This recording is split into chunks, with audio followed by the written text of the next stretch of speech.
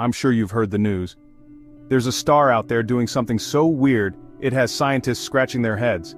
Meet Tabby's star, a sun-like star 1,500 light-years away in the constellation Cygnus.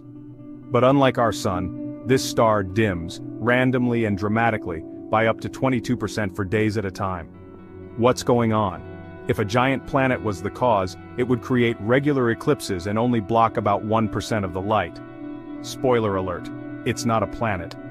Discovered by astronomer Tabitha Boyajian in 2015, this star's odd behavior has been puzzling astronomers ever since.